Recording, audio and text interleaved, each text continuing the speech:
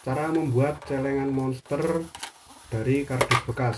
Tutorialnya simak terus video ini.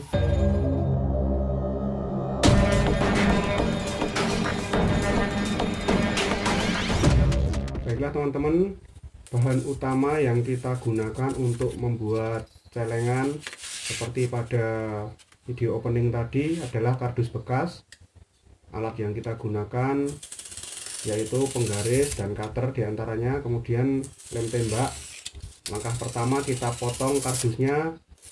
Setelah kita ukur ini untuk pertama kita memotong 4 lembar kardus ukuran 12 setengah cm kali 12 setengah cm jumlahnya 4 ya teman-teman untuk bodi celengannya. Kemudian untuk lidahnya kita akan membuat potongan kardus dengan bentuk bagian depan setengah lingkaran ini teman-teman. Ukurannya yaitu panjangnya 9 cm dan lebarnya adalah 4,5 cm kita buat dua ya teman-teman.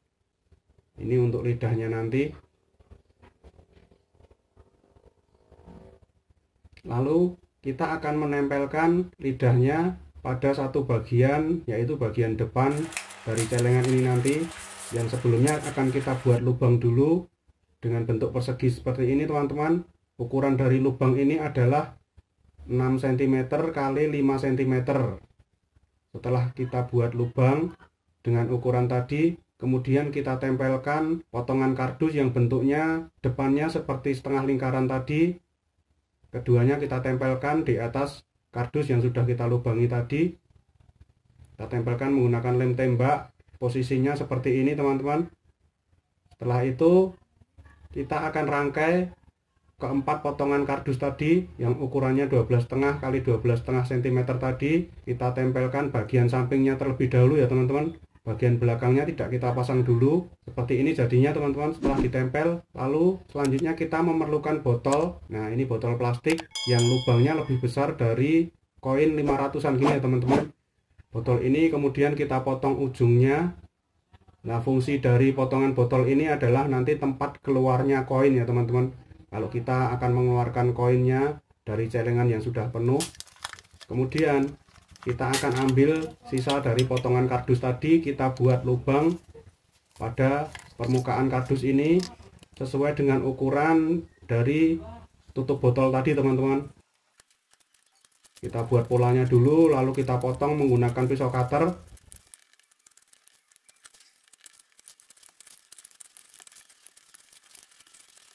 Setelah lubang berbentuk lingkaran ini sudah jadi kemudian tutup botolnya kita pasangkan seperti ini. Lalu direkatkan menggunakan lem tembak ya teman-teman. Di bagian belakangnya kita rekatkan menggunakan lem tembak. Kemudian kita pasangkan tutup botolnya nah ini bagian belakangnya teman-teman. Bagian belakang dari celengan tadi. Lalu kita pasangkan juga pada rangkaian tadi ya teman-teman. Dari potongan kardus yang sudah kita pasang tadi.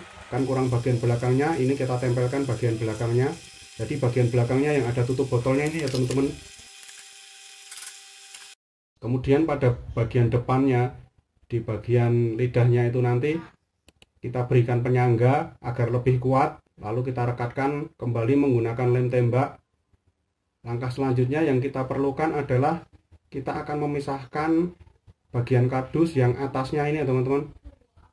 Ini kita pisahkan kita tarik pelan-pelan. Nah yang kita perlukan adalah bagian atasnya ini. Ini kita akan membuat rollernya atau drumnya. Kemudian kita membuat kardus berbentuk lingkaran ini teman-teman. Kita potong dengan bentuk lingkaran ini ukuran diameternya adalah 3,7 cm seperti ini kita buat empat potongan berbentuk lingkaran itu ya teman-teman.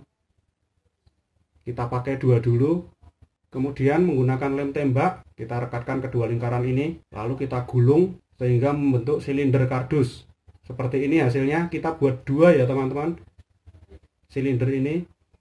Lalu kita pasang satu dulu di bagian depan menggunakan potongan bambu ini saya menggunakan potongan bambu teman-teman bisa juga menggunakan lidi. Kita pasangkan potongan bambu ini di tengahnya fungsinya sebagai asnya agar roller kardus ini bisa berputar. Kita tetesi lem Alteco pada dua pangkal kanan dan kiri dari sumbat bambu ini. Kemudian kita potong menggunakan tang. Nah ini bagian depannya sudah jadi lalu bagian belakangnya kita pasang juga. Nah karena bagian belakang ini nanti adalah bagian yang akan diputar atau diengkol kita menggunakan as yang lebih besar potongan bambunya. Seukuran sumpit mie itu ya teman-teman. Kita buat lubangnya dulu kita paskan posisinya seperti ini lalu kita lubangi bagian samping dari celengan ini sampai tembus antara kiri dan kanan setelah benar-benar tembus dan bisa berputar asnya ini. Kemudian kita membutuhkan dua potongan lingkaran kardus lagi sebagai pembatas tepi. Agar as dan rollernya nanti tidak bergeser saat diputar ya teman-teman. Kita pasang dengan rangkaian seperti ini roller, pembatas tepi, dan as bambu. Rangkaiannya seperti ini teman-teman. Bisa disaksikan di video ini rangkaian pemasangannya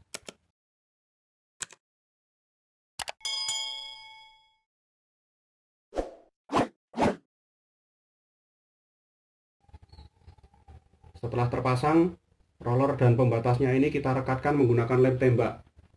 Selanjutnya kita potong kelebihan bambunya menggunakan tang. Di sisi satunya dipotong agak lebih panjang ya teman-teman. Karena akan kita buat engsel atau pedal untuk memutarnya. Kita buat kardus dengan potongan lingkaran lagi. Seperti ini teman-teman. Lalu potongan bambu sebagai pemutarnya. Ini potongan bambunya nanti kita pasangkan. Nah kita pasangkan seperti ini.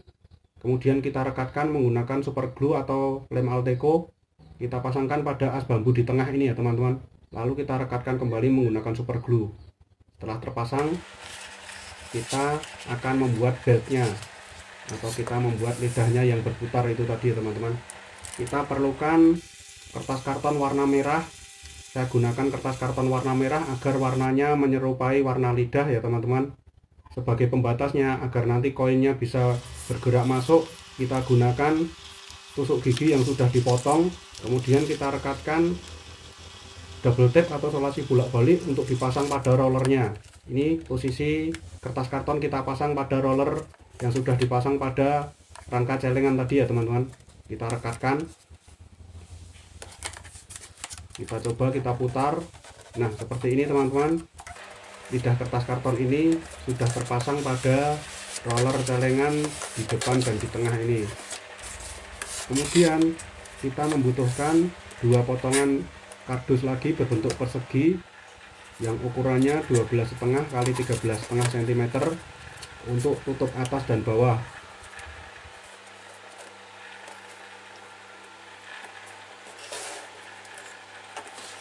lalu kita pasangkan pada bagian bawah terlebih dahulu direkatkan menggunakan lem tembak.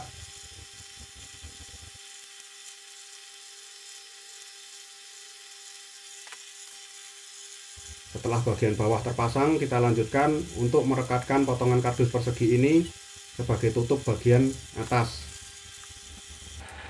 Setelah tutup bagian atas selesai teman-teman langkah terakhir yang kita lakukan adalah menghias celengan ini kita bisa menghiasnya dengan gambar wajah monster yang pada bagian depannya ini kita buat seolah-olah adalah lidah monster ya teman-teman. Kita gambar mulutnya.